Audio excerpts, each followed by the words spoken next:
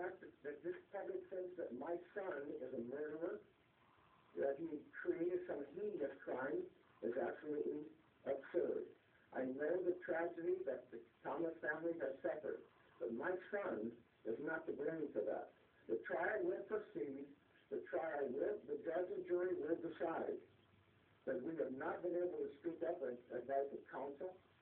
But I tell you right now, he's the finest young man I've ever known. And I stand by him with the family. We support him despite the charges that are brought against him. We believe he will be vindicated and rejoin the police department. I thank you for your comment. I thank you all for listening. Thank you.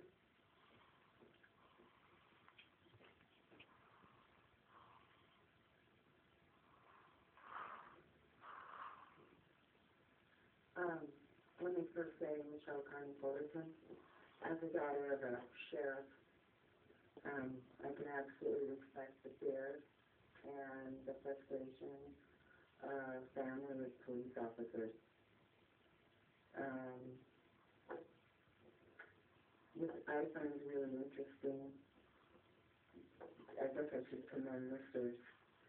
Cicinelli Smith for his loyalty to his son. I mean, that's the dad that he's supposed to do. But you have to remember, so in all respect, Mr. McKinley has stated publicly that he had hired him as a favor. Um, and, you know, I commend the fact that he was an LAPD officer and what he did, brave man.